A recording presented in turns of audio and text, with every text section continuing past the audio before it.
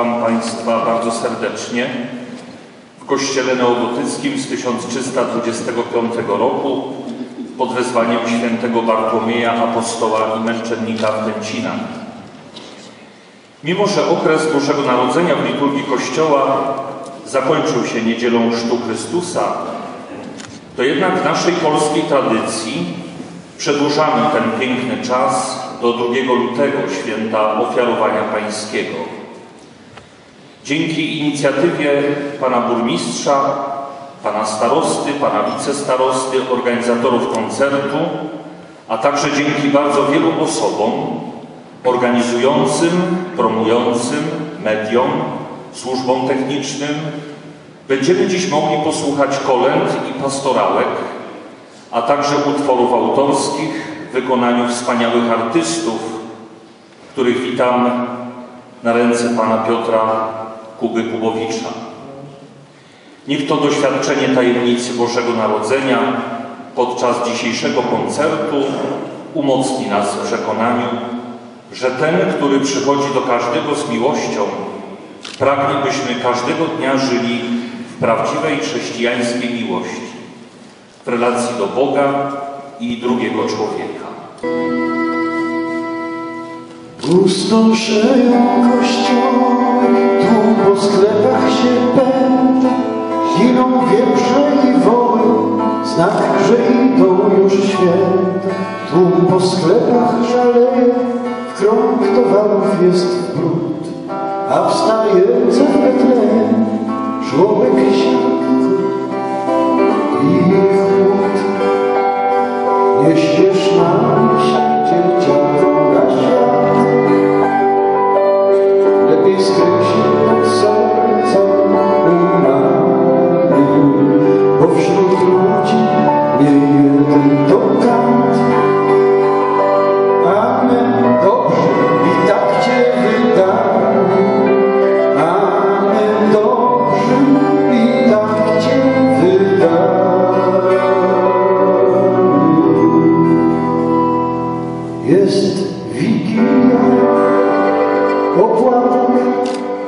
pustoszeje ulica, po cichutku nad światem schodzi hostia księżyca, a w pobliżu stajenki drzewko ciągnie się wzdłuż.